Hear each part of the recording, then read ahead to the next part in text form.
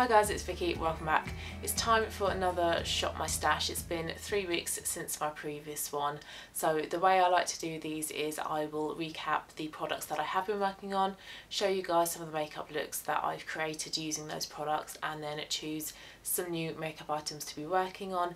And I use these items in conjunction with the products that are in my project pan and I try to kind of get this kind of like happy medium between making sure I'm using my project pan items enough to get really good progress every month but also using my shop my stash items enough to make sure that I'm rotating fairly throughout my makeup collection as well. Okay, I'm going to go through the products then. I do keep the products in a separate makeup bag like this just so I know that they are separate from the rest of my collection and I do the same with my project pan items as well, my project pan items. Okay, so I've got my phone here with pictures on as well so I can refer back to it. So if we start off with base products then, I did include a foundation and I included my Bare Minerals Original loose powder foundation. I really love this product. I think it looks so natural but it also provides a really great amount of coverage as well. And I included this because I rarely use a powder foundation. I have this and I have my Laura Geller pressed baked foundation. Those are the only powder foundations I have. But I don't often wear them. I'm more of a liquid person. So yeah, I included this because I wanted to use this one a bit more but to be totally honest with you guys I probably only used it two or three times. I didn't use it that often at all. And also because I am so close to using up the foundation that's in my project pan that's where my focus is at the moment not on another foundation. So I didn't really use it that often but I really love how it looks. Like I say it looks natural. It looks like your skin but just improved and you can really build up the coverage as well. So you can just go for a light layering or you can go for a couple of layers and really build up the amount of coverage you you want. But yeah I didn't use that as often as I hoped I would. That sometimes is the problem. When you have products in your project pan that's so close to being used up everything else kind of gets pushed to one side. So my bad but that does happen. I did also use my e.l.f. concealer. I I, don't like this. This is the 16 hour camo concealer and this is just really dry. So you have to work really quickly with it because otherwise it's super stubborn and it just doesn't want to blend in. I feel like you can see it as well. It kind of sort of clings to like, not so much pores. Do you have pores under your eyes? But any sort of like, any bit of texture under your eyes, it clings to it. You can see this concealer. It doesn't blend in very well. I'm not loving this concealer and you might want to keep your eyes peeled for a declutter video coming very very soon. You might see some of these products in it. Another base product is this Sleek Rose Gold blusher which is a dupe for NARS Orgasm. I'm really like toing and froing with this blusher which is why I included it in this Shop My Stash because there are times when it looks really pretty but then times where it, it just looks awful. So it has like a gold reflex in it. So you can kind of get away with not wearing highlighter with this blusher but it's also quite a dark coral and I think it's possibly too dark for me. But also with this you do have to put on quite a bit to get your pigmentation and then when you do that you then end up with lots of that gold reflex on your face. So the look is very it's very iffy. Like I say sometimes it looks nice and sometimes it doesn't and this also doesn't look very nice on the eyes as well so trying to multitask with this product doesn't really work. Also not a product I'm loving either. Okay eyes. So products I am loving are these Makeup Geek foiled eyeshadows. I've been so into colour this past month and I chose this palette because it complemented the Revolution We Are Love palette that's in my current one month one palette. So if I wanted bright but shimmer I would complement it with this palette here. So these are all individual singles from Makeup Geek and they're all the foiled ones. And they're just brilliant. They are perfect for that kind of one look, one shadow and done type of look. But you can also wear them together as well. So I've got a couple of purples here, got a couple of sort of orangey colours and I included this as well because I really wanted to get the my use out of these two shades here. So this one kind of looks like a dark brown. It's not. It is like a purple. Mesmerized is the name of that one. It is like a, a taupey purple which isn't really my type of purple but it actually looks really pretty. So I like wearing that one with this purple here, weirdly enough. I also included it because I was really unsure as well about this dark green up here, which is called Houdini, but it's actually more of like a navy colour and it's what I have on my eyes at the moment. Not loving that one. The rest I do really love. Like I say, they're brilliant for that one shadow and done type of look. So they're really easy to work with. Layered over the top of NYX Glitter Primer as well. They just pop so much more. Beautiful, beautiful colours. Really did enjoy using that custom palette. And I did also include a couple of Kiko singles, but to be honest, I haven't worn them yet. It's the green and the purple here.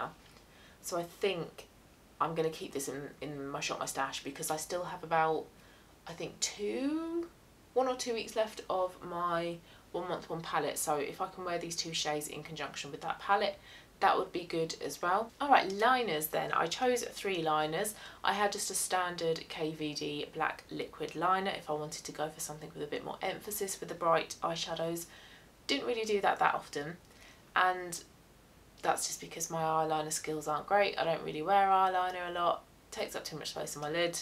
I've said that multiple times before if you're a regular viewer. I just didn't really wear it that often. And then I also included these two from Peaches and Cream, which are a beautiful turquoise shade and then a like gorgeous orangey copper. Beautiful eyeliners. Again, I didn't wear these that often as well, but I know that I like these, so I didn't include it to, to try and figure out whether I wanted to declutter them or not. It's just that they got a little bit of use. And they did not a whole lot of use. But I don't wear eyeliners that much anyway, so they're never going to be something that I wear every single day. Okay, and lip products then. I included two lip liners. I've got this collection pink lip liner, which is a vibrant pink retractable lip liner, which I intended to wear with Vive Lip Dew over the top, which I did once or twice very very lovely colour but I did sometimes find that going for a bright eye and a bright lip was too much. So I think I probably wore these bright lipsticks maybe about twice each in total so not as often as I was expecting to. And also the lipstick that's in my project pan that's very close to being used up. So again that was where my my priority was in terms of lip products. But really really nice lip liner from collection quite creamy doesn't pull at your lips and I love the fact that it's retractable as well. Beautiful colour but just a little bit sort of too intense I think. And then there was also MAC Brick which is just a standard red lip liner that I wore with MAC Work Work Work which is one of their Powder Kiss lipsticks. Lovely blue based red lipstick. I nearly said blue based blue lipstick then. Blue based red lipstick. Very soft on your lips wears quite well as well and when it does start to fade it doesn't look really dodgy. It, the pigmentation just kind of evenly fades. And then for more of like an orangey red I had Persuasive by Estee Lauder. Much more my kind of red this shade is. As it's an orange base red it's a lot warmer so it suits warmer complexions better. And although I'm not a red lipstick fan this is the type of red lipstick that I feel comfortable and confident wearing so loved that one. And then last lip product was my Max Factor Lipfinity, a corally kind of colour, perfect for the summer months.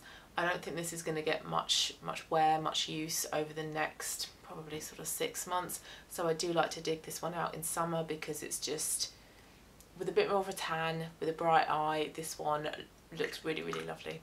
Right, so seeing as I have gone pretty colourful, pretty bold in my current slash previous Shop My Stash selections, I think I want to go for something a bit more muted, a bit more pared back.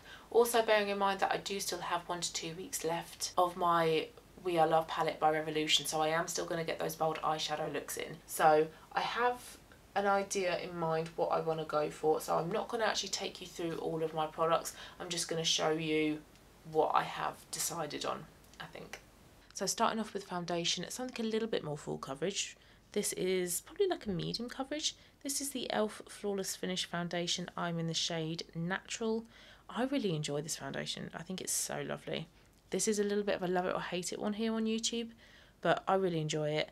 and I just haven't used it in a while. So that's why I'm going to include this one. And then for concealer, I'm going to go for the Revolution Conceal and Define Infinite Concealer. Really, really lovely concealer this one is. But also this is, yeah, 5 mils. So this is my smallest concealer. So I'm hoping to kind of, if I keep dipping back into this one, this one will get used up, well I was going to say fairly quickly, but it's a concealer, isn't it? It, it takes a long time to use up a concealer. But quicker than my larger concealers will, that's for sure. But really, really lovely concealer this one is. I don't want to use it up to get it out and done in my collection, but all of my concealers are open. So I need to keep rotating through them and making sure they all get used and they don't go off basically. Bronzer, I'm going to go for my Fenty Cream Bronzer in the shade Butta Biscuit. Beautiful, beautiful, beautiful bronzer. Love this. I have the powder as well, but the cream is just, oh, it's, it's beautiful. It blends in so nicely. There's no kind of like harsh lines that you can get sometimes with bronzer. This just, yeah, it blends in seamlessly. Colour is brilliant on me. Love it. Haven't used it in a good month probably. So I'm going to include that one. Whoops. and then for blusher, I'm going to go for Milani Luminoso. Now, I do have a blusher in my project pan, but what I have been doing actually is layering it. So I've done primer, foundation, concealer. I've put on my cream blusher, and then once I've powdered, because the powder takes away some of the pigmentation, I do like to go in with a bit of a powder blusher over the top. So Milani Luminoso pairs quite nicely with VB, which is my Trinny Project Pan blusher. And Luminoso is just a really, really pretty blusher as well. So going to go for that one. And then highlighter is going to be Becca Champagne Pop, a mini one. Really lovely highlighter. I wasn't that fussed about this when I first got it, but it's really growing on me. I think it's so pretty, so easy to work with. And a little bit of a spoiler, there is now a liquid highlighter in my project pan. So I'm going to do a similar thing with the, like I said, with the blusher. I'll put my liquid highlighter on powder and then just go over the top with this powder highlighter. Eyes, like I say, keeping it simple. So I'm going to go for this Revolution Quad, or actually Trio in my case because I got rid of one of the pans. Diamonds and Pearls. So you have a lovely dusky pink shade, a dark brown and then a foiled yellow gold glitter. Really lovely colours those ones are. And then if I want to go for something a little bit brighter, like I said in my intro, I haven't used these Kiko ones this time round. So I'm going to include the green and the blue Kiko single eyeshadows. Those will work really nicely with my one month one palette. Eyeliners. Right, I've got to make sure I use these eyeliners. This is Teddy by MAC. Just a really pretty, if I try to show you, brown with a bit of like gold shimmering, but really lovely brown eyeliner. And then I've got my nude here as well, which is Papyrus from Peaches and Cream. Just great for the waterline. Brows. Now, I do have a brow product in my project pan, but it's it's quite thick. It does give like a full brow effect, and I am enjoying a lighter brow so I do want to include Benefit Gimme Brow in the shade 3 this is open so I don't want this to kind of dry up whilst I'm working on my Project Pan one. So I'm going to include this one and just try to kind of alternate between like a lighter brow one day and a thicker brow the next day because I do want to get the goof proof used up. That's the Project Pan brow product. But yeah Gimme Brow I'm going to include. And then lastly lips I'm going to include Eurotrash by NYX, which is a dupe for Charlotte Tilbury Pillow Talk. It's quite a matte, peachy pink shade. Really, really lovely. One of my favourite lipsticks. And then I'm going to pair it with Subculture from MAC. And this liner works lovely with any type of pinky lipstick I've got. It looks there like it doesn't. but trust me, when I've worn them together, it, it works. It's fine. It does work. And then the lip liner to go with the lipstick that's in my project pan is going to be Stripped Down by MAC, which is just a nudie brown type of colour. Alright, so those are my selections for the next Shop My Stash. So I will again take lots of pictures and give you guys an update in three weeks time. But thanks so much for watching. If you liked it, please give it a thumbs up and I will see you again soon in my next one. Bye guys!